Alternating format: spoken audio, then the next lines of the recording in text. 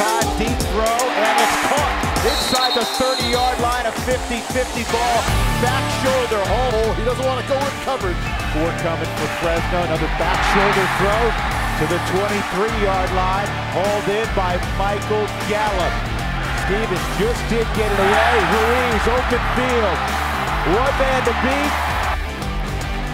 They'll go to Kinsey, and he's in the end zone again, twice last week. Colorado State touchdown. Marvin Kinsey with his fifth touchdown of his true freshman campaign. And everything's working. Here's Gallup. Yeah, Gallup to the way. end zone. No way. touchdown. What an effort. No way. Waiting for a block. Hurdle the man. Touchdown, Colorado State.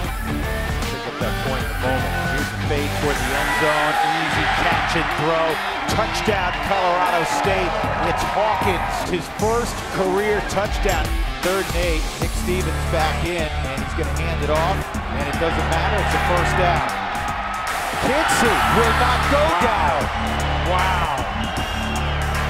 And that's an interception on the slant. It's picked off. Five coming, in trouble, and he's going to be dropped back at the 24-yard line. It's your man R.J. Jean again.